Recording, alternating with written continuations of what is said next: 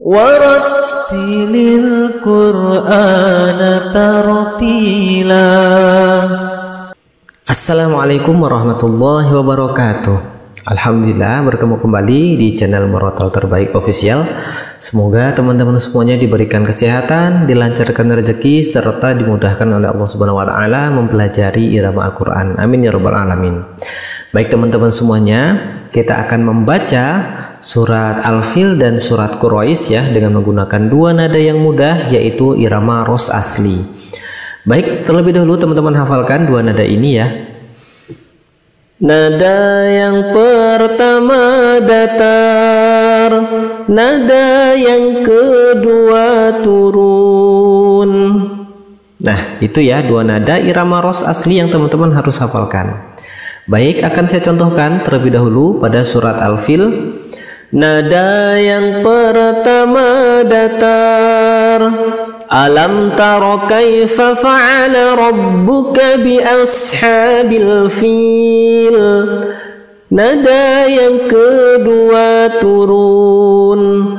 Alam yaj'al kaidahum fi tadlil Nah seperti itu ya Jadi eh, nada datar dan turun ini terletak pada ujung ayatnya Kemudian ayat seterusnya kita ulangi lagi dari nada yang pertama sekarang bersama-sama kita baca dari awal sampai selesai surat Al-Fil menggunakan irama ros asli.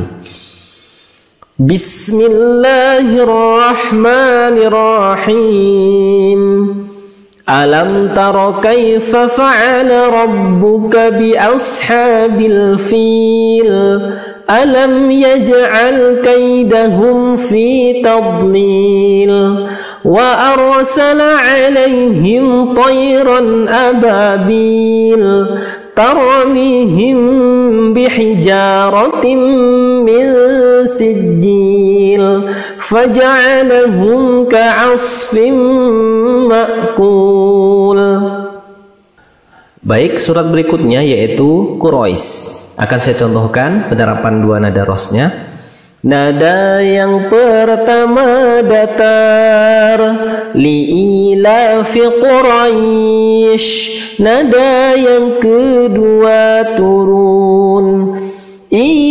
Ilafihim rihlatasyita'i wassaif Setelah itu ayat berikutnya kita ulangi lagi dari nada yang pertama Bersama-sama kita baca dari awal surat Al-Quraisy dengan menggunakan irama ros asli.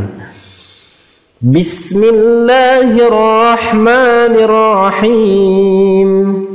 Li'ilafi Quraisy إيلافهم رحلة الشتاء والصيف.